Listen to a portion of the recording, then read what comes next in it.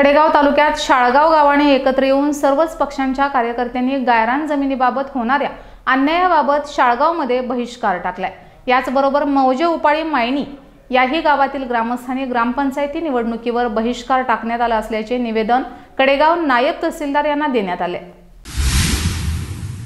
पूर्व हक्कदारांनी सुमारे सत्तर ते ऐंशी वर्षापासून गावालगत असणाऱ्या मोकळ्या जागेवरती उकिरडे छपरे परडापड तसेच गंजी लावून स्वतंत्र वहिवाट चालू ठेवलेल्या होत्या व आहेत.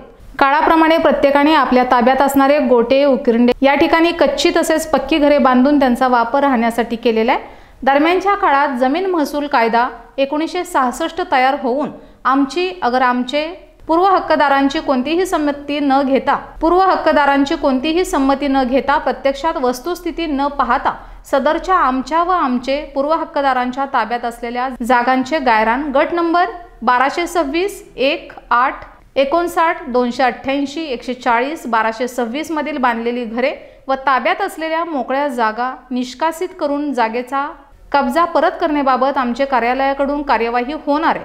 तरी अशी कार्यवाही होऊ नये अन्यथा आम्ही सर्व ग्रामस्थ होणाऱ्या ग्रामपंचायती निवडणुकीवर बहिष्कार टाकण्याचे सर्वानुमते ठरवले. आम्ही सर्व ग्रामस्थ होऊ घातलेल्या ग्रामपंचायती निवडणुकीत मतदान करणार नाही असे आशयाचे निवेदन नायब तहसीलदार यांना मौजे उपाळे मायनी ग्रामस्थांनी दिले. Bureau report seven star news.